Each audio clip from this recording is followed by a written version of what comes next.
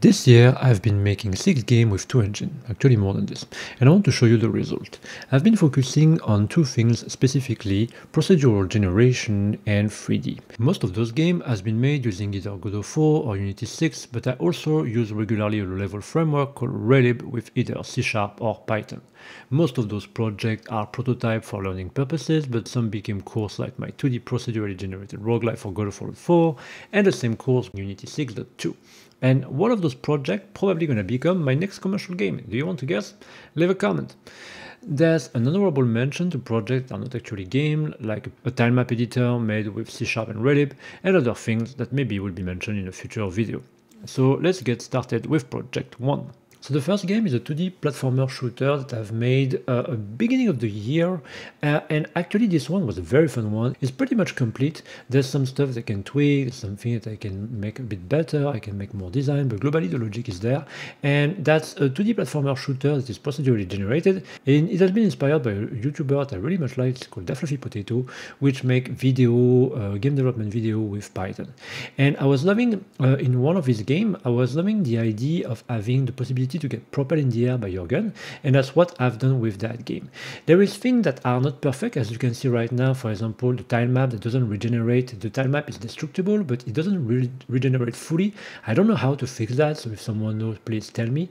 But that's a very good game that I like, and potentially that's one of those games I'm gonna make next year as a commercial project. The next game is a 3D game that I've made with Unity 6, and I have that sort of weird obsession uh, with recreating a Link's Awakening, uh, the Switch uh, edition, so the, the one in 3D, uh, in different game engine. And so this one, I, have used that I've used that obsession to try to remake that game in Unity 6, and I kind of succeed. I like the result that I have. I spent a little bit, like I spent like something like two weeks on this, and uh, I was very happy with the result. Like uh, the thing that makes me uh, uh, take Unity instead of Godot was that Unity has already the Unity Asset Store with a lot of 3D uh, models that are already pre-made for working with Unity. So that cuts a lot of the work, which is great. But it's not perfect as well, as you can see right now. Like so, the the enemy uh, have a, a, bit of a weird behavior. Like you can see that it rotates weirdly. I was trying to not use the navmesh uh, agent, uh, which is something that you can use to bake the place where the character can move uh, on the screen. And I was trying to do that programmatically, but that was not automatically fully working well. But otherwise, uh, the on the aesthetic part, I was really liking the aesthetic, and I think that's something that I will revisit uh, in the future. Next project is the one that I spent the most time this year, like I spent so much time working on this, which is a 2D top-down uh, procedurally generated roguelite in Godot. And uh, this really took me a long, long time. I've been focusing on creating my own algorithm based on the logic of the random walker algorithm, and I succeed to create uh, uh, an algorithm that is very, very good and that makes it very easy to create uh, procedurally generated levels without having uh, the, the, common error. But uh, it has also been very challenging for me because I was going through my surgery and I was going through a lot of things. Uh, I also made a course out of this uh, project. And uh, the course doesn't work well although like I've made 52 videos explaining how I've, I've gotten to that result. But for some reason it was not fully working well which was a bit of a, of a shame but that's okay. Uh, this is gonna be globally my next uh, my next game. And uh, I'm gonna be probably releasing that game in 2026 uh, not automatically free the one that you see on the screen but very close to this. The character is the same. And I really want to make a sort of a Godot version of Nuclear Throne. That's what I am aspiring to do with that project because uh, Nuclear Throne is one of my favorite game and I very much love it. This has been very challenging to make, but I really appreciate um, the result that I have so far. I can put more detail on the ground, which is something that I'm working on at the moment. I have created also different uh, enemies I will show you in a future devlog, but that project has been probably the one that I spent the most time on this year and I'm really happy with it. Then the next project is globally the 3D counterpart of my 2D procedurally generated roguelite. So I was thinking that maybe I could use my algorithm uh, from the 2D version to 3D, and yes, I was able to. And this is uh, for now the result that I have. The main blog that I have for working on this game is just uh, me uh, having a sort of creative block about creating 3D models. Uh, I want to make that game by myself, you see. So like I'm, I, I'm that's I have that sort of ego where I want to make things by myself because that's what I like to do. But uh, here, uh, that's the, the, the, that's that problem that I'm facing.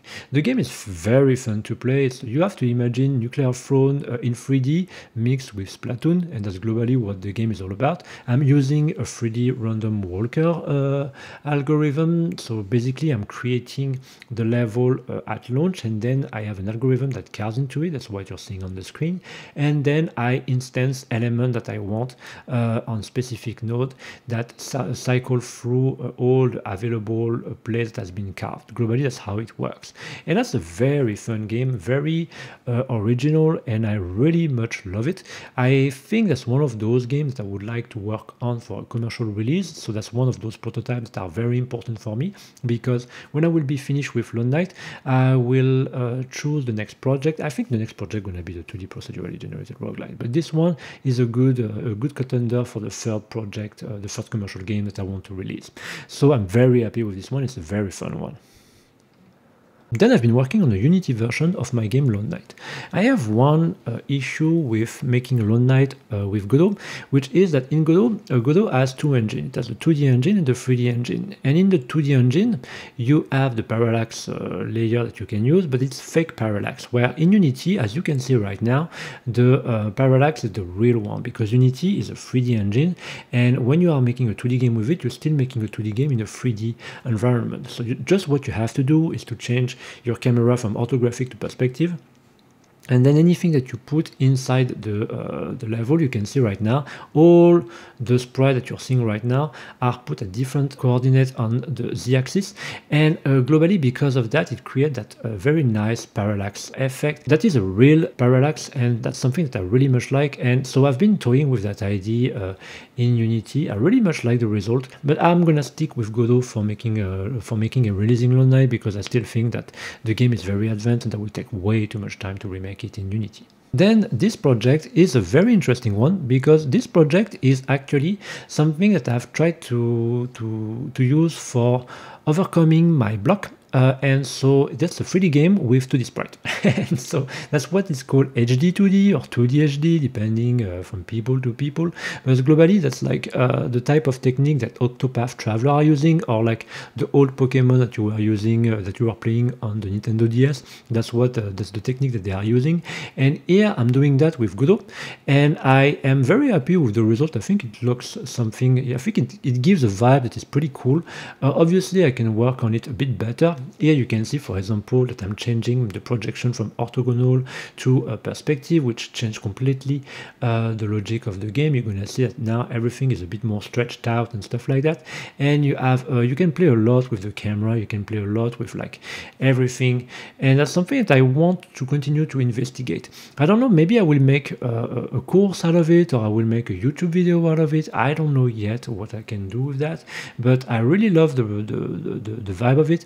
And for for me that helps me to overcome the block that I have to make my own model in 3D at the moment because I don't know why but like it, it's very overwhelming for me to make a 3D model at the moment where uh, which is a shame because I very much know the process of making a 3D model and how to animate, uh, animate them and ring them, but for some reason I have some blocks, so that's how it is. But I really like that uh, project. Tell me if you like it, because I could make something out of it. Then the next project that I've made was translating my 2D procedurally generated roguelite from Godot to Unity. And this has also become a course because there was not much things about how to make procedurally generated roguelite in Unity. So I've made a course on Udemy. I will put the link in the description.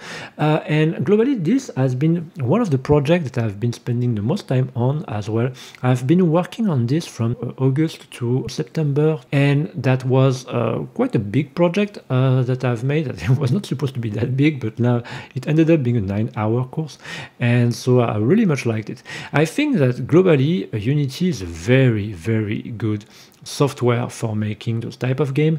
The only problem that I really had was uh, um, figuring out the Y sorting because the Y sorting in Unity is uh, a bit more complex than the, the one that you have in Godot.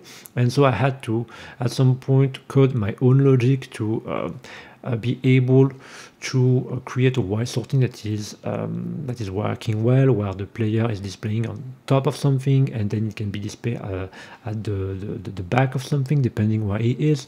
But globally, the thing that I appreciate the most is that Unity makes everything so easy when you want to make your code modular. That's the thing that I don't like uh, about Godot. I think Godot Godot is a bit modular, but it's not as modular as Unity in terms of coding.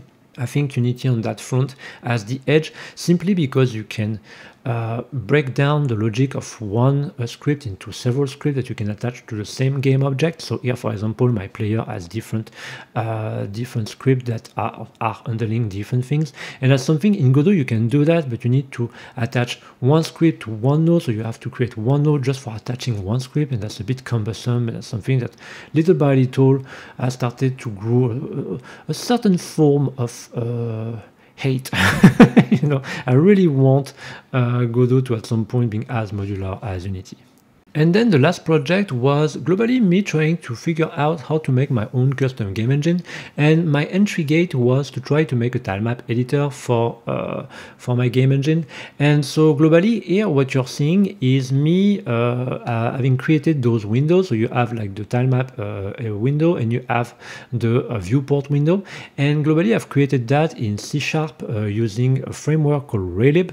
And I've created everything by myself. And I have created the um, the UI is using uh, Dear ImGui, which is a very common uh, UI tool that you can use for creating your own game engine.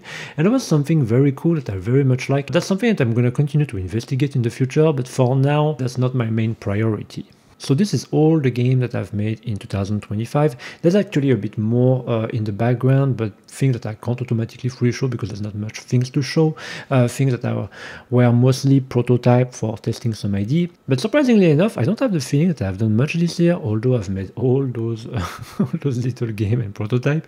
Uh, probably it's because I haven't released a game. At first this year I was supposed to release two games, but between my surgery and the aftermath of it, plus all other things that have happened to me uh, in between. Uh, that year has been a pretty tough one, and so uh, I choose to make those little projects as a way to uh, prepare the future. And so here I'm very happy that I've made the groundwork. Uh, so in 2026, when I will have released uh, Lone Knight, I will be able to jump into another project without to have too much problems into finding something that stick with me. I already have the groundworks for all those projects between the 3D games, the 2D procedurally generated game, the 3D procedurally generated game, and so on and so on. So I'm very happy about this. So I hope this video has been helpful and motivating for you. Me, I want to wish you a very good end of the year, and I will see you in the next one. Bye.